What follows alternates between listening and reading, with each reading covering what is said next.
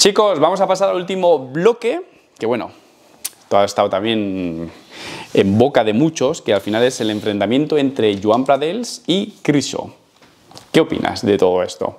Ponos un poco en situación. Un poquito, cuéntanos un poco sobre Criso, tú que conoces bien. Bueno, yo a Criso lo conozco señores. desde el 2017. Cuenta su palmarés, lo llevo viendo. Y Cristo cuando salió, bueno, es que Cristo también se ve muy jovencito, como Joan. Pues, tío, tiene un recorrido. Él se quedó en el Elite Pro. Cuando las federaciones se separaron, pues hubo unos que tiraron para la nueva, que era la NPC, y otros que nos quedamos en donde habíamos estado toda la vida. Cristo optó por quedarse ahí, hizo carrera ahí, ahí no le tosía a nadie. Eh, un tío muy fuerte, muy, muy- con mucha envergadura, un físico muy longilíneo, con, con brazos y piernas muy buenos. Y la verdad es que es un tío que con un recorrido competitivo bastante excelso. Me choca, me choca que, por ejemplo, el otro día también, es que cuando sabes que cuando grabamos tú y yo me pongo a hacer los deberes y digo, voy a ver cómo está la comunidad. Y me topé con, con un vídeo de uno de mis más estimados youtubers, que es el amigo Greenfits. Que, joder, que Se, hizo un se- se viene clip, se viene clip. que se marcó un vídeo y era poco menos que, que parecía que Critso solo había cometido en el Olimpia una vez, quedó el 12, y que tenía 50 años. Como hablando de él, que yo me quedé un poco flipado. O sea, como si estuviera acabado. Bueno, como que, bueno, pues, Está de paso ya. Está ya de paso. Lo que le- ya lo que le viene, le viene de regalo. O a mí me pareció, no sé si quería decir eso, a mí es lo que me pareció, claro. Hablamos de Critso, es que Critso ha ganado mucha gente muy buena. Critso ha quedado 12 en el Olimpia. Critso es un tío objetivamente bueno. En el Olimpia no salió bien, ya, pero es que hace otras 50 veces ha salido muy bien. Y aún así, queda, saliendo mal, quedan- quedó el 12. Con lo cual, la lectura no es. Es que en Olimpia salió muy mal, sí, pero quedó el 12. que Yo es que la mal. lectura que hago es salió en el Olimpia. Y, y que- y salió decir, mal y por- quedó el 12. Quedó delante de gente que era que iba bien y él salió mal y quedó el 12. Yo eso ya me daría que pensar. Y bueno, pues como poco menos que venía de competir en, una, en unas siglas con, pues eso, como se decía antiguamente cuando jugaba la sección de fútbol, contra panaderos, ¿no? Pues pues que eso estaba compitiendo contra panaderos y que, que no, que no, pues la realidad no es esa. Cristo gana, eh, Cristo gana campeones del mundo, Cristo gana IFBB Pros, Cristo en su debut ganó muchos IFBB Pros, en su debut en Pro ganó también. Entonces es un tío. mmm, el año pasado, cuando debutó en Olimpia, Jay Cutler, por ejemplo, decía que iba a ser top 5. Jay Cutler, que luego ha venido Greenfield se ha dicho que era malo. Entiendo que Greenfield sabe mucho más que Jay Cutler. Pero eh, a mí lo que me parece es que primero hay que poner en valor una cosa, que ya que a Joan se le compare con un tío como Critso, habla mucho en favor de Joan. ¿Vale? Porque, joder, es un tío que está empezando, es un tío que va así hacia, hacia el top, pero eh, yo a día de hoy creo que está un escalón por debajo de Critso, sinceramente.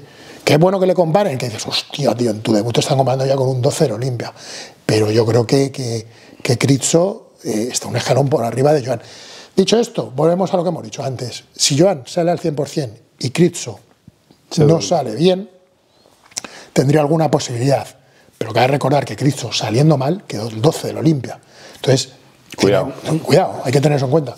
Pero a mí me parece una pasada que a Joan se le, esté, se le esté comparando con esa gente en el sentido que es positivo para Joan, que me parece muy bien, porque es un tío que tiene argumentos físicos. Porque, por ejemplo, tiene poses en las que sí es mejor que Cristo, pero sobre el papel yo veo a Cristo superior de, de Joan. Lo que es curioso es lo que señalas, que bueno, por si alguien no se ha enterado, te parece un poco cuñado Greenfield, ¿no? Dando opiniones un poco profano, ¿no? En, en este caso. Poco profa- yo no sé si lo hacen por agradar, yo creo, yo creo que No, lo que hará es que no preparará mucho el vídeo, lo preparará un poco por Mm. encima, pero no es una materia que él consuma y entonces comete esos errores. Eh, yo que, creo ojo, que- eh, que, que yo soy el primero que también me ha pasado. ¿eh? Sí, pero volvemos a lo mismo. Una cosa es que tú de antemano digas, yo no sé mucho, y otra cosa es que, por ejemplo, Sí, que a mí Green a mí me parece como que asevera mucho la pose de.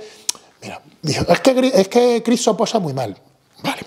Año 2017, a Cristo, en IFE Internacional, se le ponía como ejemplo de algunas poses como los perfiles. Hostia. Entonces te digo que cuando se habla de estas cosas, tío, yo, yo consumo MMA muchísimo. Veo más MMA que culturismo. Yo no vengo a hacer vídeos de MMA. Ya. ¿Por qué no? ¿Por qué no? Porque no tengo. Entonces, Está bien que se hagan vídeos, que se opine, oye, oye, bajo mi punto de vista, pero ya en- en- entrar en cosas tan específicas como Criso posa mal y Criso es que como ha estado muy relajado porque como no ha competido con gente de nivel, tío, que ha competido contra, contra gente como Mika Shibonen, contra Blessing, contra Oleg, con, com- con Simon Lada, ha competido con gente muy buena, muy buena, y no es que los haya ganado, es que los ha destrozado. Fíjate. Entonces, que tú no los conozcas o que tú no, haya, no sepas de dónde viene este tío es una cosa. Pero que aseveres es otra diferente, tío. Y otra cosa curiosa es que, claro, que señalas tú que lo trata como si fuera un acabado y estamos hablando de un tío que tiene 30, 31 años, Sí. que en teoría es ahora cuando le vienen los mejores años, Sí, ¿no? sí, sí, sí, de sí. 30 a 40 se supone que es cuando... De hecho, siempre tenido una evolución bastante continua. A mí, yo creo que, ojo, con los años, yo creo que Joan va a ser mejor que Cristo. Ya. Con los años. Pero es que también me parece, tío, que es como meterle ahí una presión innecesaria a Joan. Pero eso siempre pasa, tío.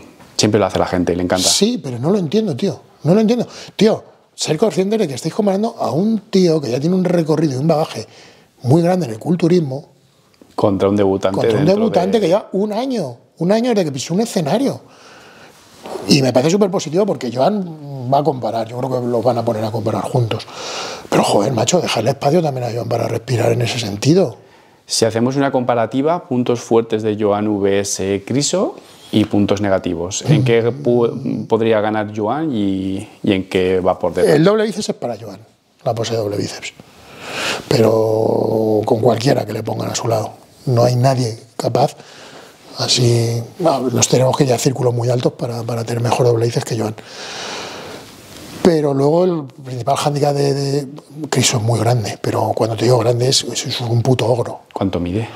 Es más alto que Joan, mucho más alto que Joan, pero es que además es eh, el aspecto que tiene es un tío muy raro. Yo cuando le vi competir tenía como tics, se movía como raro, ¿sabes?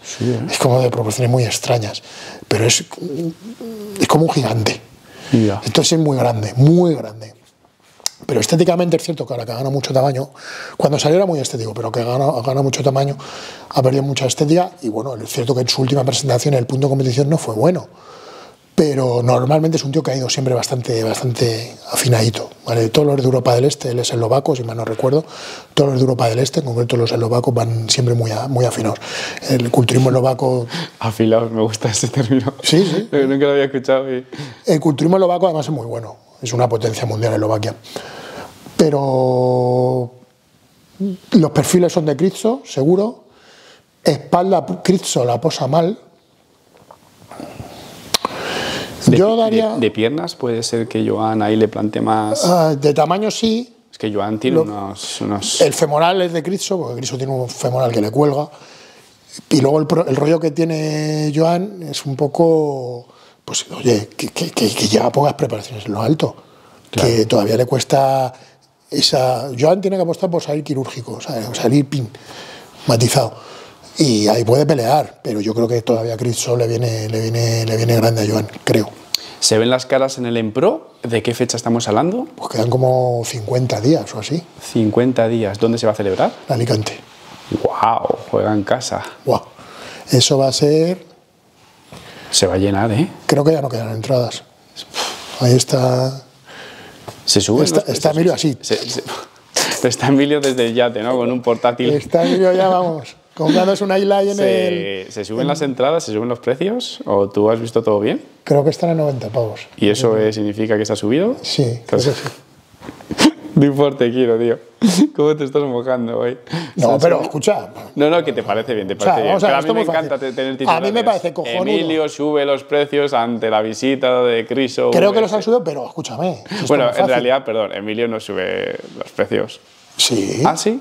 Como... Claro. Vale, vale, pensaba que él no tenía tanta Pero potestad. escúchame, vamos a dejar una cosa clara. A mí me parece cojonudo que Emilio como si quiere cobrar 500 pavos. ¿Por qué? Pues si tú haces una velada de boxeo y traes a Tyson, no pides lo mismo que si traes a, a otro. Entonces, él va a traer lo que quiere el público, que es a Joan. Entonces, escúchame, ¿quiere ver a Joan? Win-win. Te, te estoy trayendo aquí esto. Claro, tío.